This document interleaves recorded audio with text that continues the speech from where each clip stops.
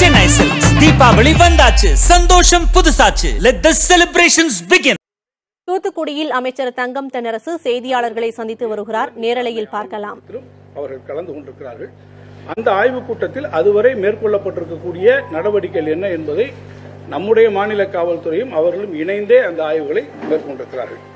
இந்த கூட்டத்திற்கு பிறகு அடுத்த நாள் புதன்கிழமை இருபத்தி ஆறு பத்து ரெண்டாயிரத்தி இருபத்தி ரெண்டு அன்று தேசிய புலனாய்வு முகமை மற்றும் மாநில காவல் காவல்துறை அதிகாரிகள் மற்றும் மத்திய உலகத்துறை இணைந்து முழுமையாக சந்தேகப்படக்கூடிய நபர்களிடத்தில் எல்லாரிடத்தில் அவர்கள் இணைந்தே விசாரணை செய்திருக்கிறார்கள். இது நான் மீண்டும் உங்களுக்கு தெரிவிக்க விரும்புகிறேன்.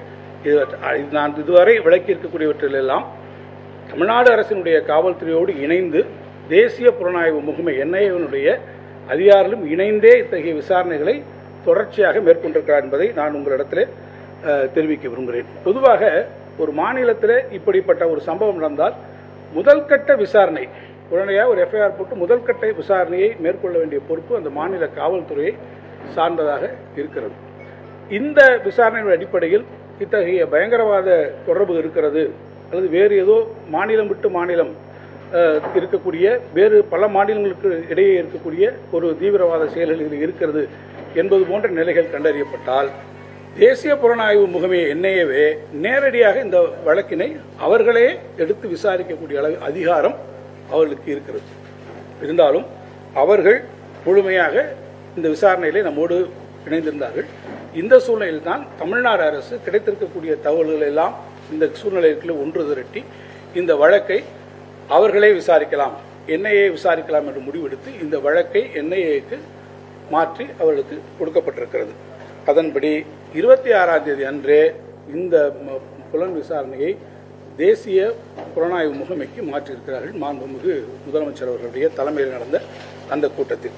எனவே நான் உங்களிடத்தை தெரிவிக்க விரும்புவது தேசிய புலனாய்வு முகமை எடுத்துக்கொள்வது வரை இந்த சம்பவம் நடந்து இந்த தேசிய புலனாய்வு முகமை அதற்கு இந்த கேஸை ஒப்படைப்பதற்குரிய இந்த வரை அனைத்து விவரங்களும் தமிழக காவல்துறையினால் நம்முடைய மத்திய உளவுத்துறைக்கும் ஐபிக்கும் அதே போல தேசிய புலனாய்வு முகமைக்கும் தொடர்ந்து இத்தகைய தகவல்கள் தெரிவிக்கப்பட்டு வந்திருக்கிறது என்பதை நான் இங்கே தெரிவிக்க விரும்புகிறேன். இந்த சூழ்நிலையில் இன்னொன்றையும் நான் தெரிவிக்க வேண்டும். இங்கே இந்த வெடிவிபத்தில் இறந்த ஜமீஷா முபின் ஏற்கனவே ரெண்டாயிரத்தி பத்தொன்பதாம் ஆண்டே என்ஐஏவால் விசாரிக்கப்பட்டிருக்கக்கூடியவர் அப்போது விசாரிக்கப்பட்டு விசாரணை நிலையத்தில் கொண்டு வந்தவர். அதற்கு பிறகு ஏன் விடுவிக்கப்பட்டார் என்பது எங்களுக்கு தெரியாது. அது குறித்த விவரங்கள் என்னை ஏன் அவரை விடுவித்தது என்கின்ற விவரங்கள் எங்களிடத்திலே இல்லை. அது அப்போது விசாரணையில் இருந்த புலனாய்வு அதிகாரிகளுக்கு தான் தெரியும் என்பதை என்ஐஏனுடைய அதிகாரிகளுக்கு தான் தெரியும் என்பதை நான் தெரிவிக்க விரும்புகிறேன்.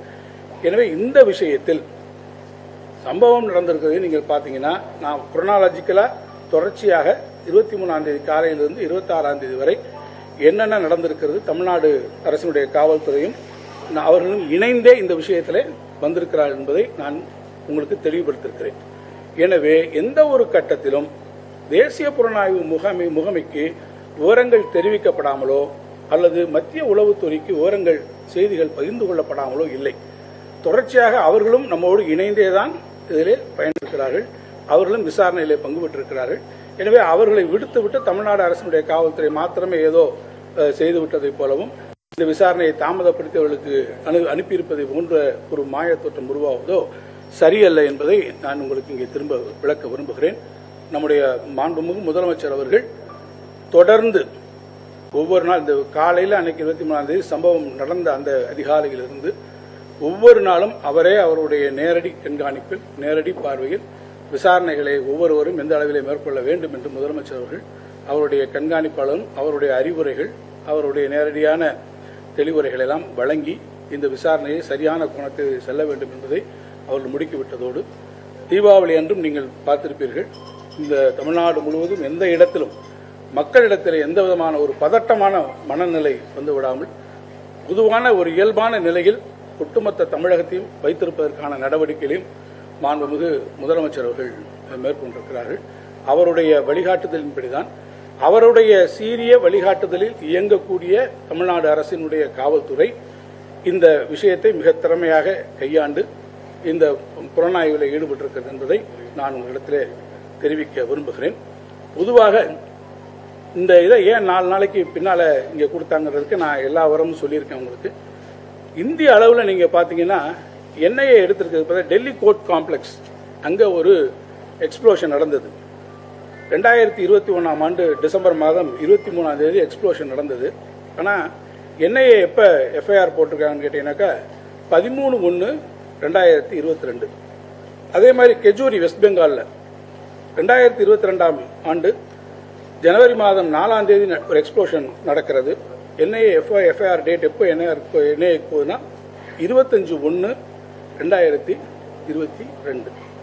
அதே போல Naihati West Bengal date of explosion இருபத்தி ஏழாம் தேதி ஜனவரி ரெண்டாயிரத்தி இருபத்தி ரெண்டு. என்ஐஏ எப்போ ஒப்படைச்சு என்ஐஏக்கு போயிருக்குன்னு பார்த்தீங்கன்னா எட்டு ரெண்டு ரெண்டாயிரத்தி இருபத்தி ரெண்டு பிப்ரவரி எட்டு. அதே மாதிரி லோ இன்டென்சிட்டி பிளாஸ்ட் போலீஸ் பஜாரில் வந்து ஷிலாங் சிட்டியில் நடக்கிறது. அது ரெண்டாயிரத்தி இருபத்தி ரெண்டாம் ஆண்டு ஜனவரி முப்பதாம் தேதி நடக்கிறது. என்ஐஏ எப்போ போட்டிருக்காங்கன்னு கேட்டீங்கன்னா எஃப்ஐஆர் எப்போ வந்திருக்குன்னு கேட்டீங்கன்னாக்கா மார்ச் மாதம் அதே ஆண்டு ரெண்டாயிரத்தி ரெண்டு மார்ச் மாதம் நாலாம் தேதி அந்த எஃப்ஐஆர் போடப்பட்டிருக்கிறது. அதேபடி டர்ட்லாங்கில் வந்து ஒரு ஆட்டோமொபைல் ஒர்க் ஷாப்பில் நடந்திருக்கக்கூடிய எக்ஸ்ப்ளோஷன் அது வந்து மார்ச் மாதம் பதினெட்டாம் தேதி நடந்ததுக்கு ஜூலை மாதம் இருபதாம் தேதி தான் அது என்ஐஏக்கு போயிருக்கு. ஆக இது பார்த்தீங்கன்னா ஒரு சம்பவம் நடந்து என்ஐயோடைய எஃப்ஐஆருக்கு போகக்கூடிய கால அளவை நீங்கள் பார்த்தீங்கன்னா அது ஒரு வாரத்திலிருந்து ஏறத்தாழ மூன்று நான்கு மாத கால அளவுகள் கூட இதற்கு இதற்கு முன்னிருக்கக்கூடிய சம்பவங்களிலே இத்தகைய வெடி விபத்துகளை நிகழ்ந்திருக்கிறது. இந்த வெடி விபத்து சம்பவத்தை பொறுத்த மட்டில் முழுமையாக என்ஐஏ அதிகாரிகளும் ஐபி அதிகாரிகளுக்கும் தெரிவிக்கப்பட்டு விசாரணையில் அவர்களும் பங்கு பெற்றிருக்கிறார்கள். என்ஐஏனுடைய டிஐஜி என்ஐஏனுடைய எஸ்பி உள்ளிட்டு இருக்கக்கூடியவர்களும் இதில் பங்கெடுத்திருக்கிறார்கள் விசாரணையில் அவர்களும் இருந்திருக்கிறார்கள். எனவே முழு தரவுகளும் இதில் யார் யார் சம்பந்தப்பட்டிருக்கிறார்கள் கூட்டாளிகள் என்ன இதில் வேறு எந்த மாநிலங்களிடத்திலிருந்து வந்திருக்கிறது என்பது முழு தகவல்களும் முதலமைச்சருடைய நேரடி உத்தரவினுடைய அடிப்படையில் அவருடைய பார்வையில் நம்முடைய விசாரணை அதிகாரிகள் முழுமையாக திரட்டி நான்கு நாட்களுக்குள்ளாக அது உடனடியாக கொடுக்கப்பட்டிருக்கிறது. கொடுத்ததுதான் நான்கு நாட்களை ஒழிய முழுமையாக அவர்கள் இந்த விசாரணையிலே உடன் இருந்திருக்கிறார் என்பதை தெரிவிக்க விரும்புகிறேன். இறுதியாக தமிழ்நாட்டிலே எந்த காலகட்டத்திலும் எந்த ஒரு சூழ்நிலையிலும் எந்த ஒரு தீவிரவாத நடவடிக்கைகளுக்கோ பயங்கரவாத செயலுக்கோ மாண்புமிகு முதலமைச்சர்கள் ஒருபோதும் அனுமதிக்க மாட்டார்கள். அதிலே அவர்கள் மிக உறுதியாக எக்கை விட உறுதியான ஒரு முதலமைச்சராக இருந்து இத்தகைய செயல்கள் எந்த ரூபத்தில் எந்த வடிவத்தில் வந்தாலும் தமிழ்நாட்டு முன்னில் தீவிரவாத செயல்களுக்கு எந்த கட்டத்திலும் அனுமதி இல்லை. அதை அனுமதிக்காமல் அதை தடுத்து நிறுத்தி விரட்டி அடிக்கக்கூடிய உறுதி படைத்திருக்கக்கூடிய முதலமைச்சராக நம்முடைய முதலமைச்சர்கள் இருக்கிறார்கள் எப்போதும் இருக்கிறார்கள்.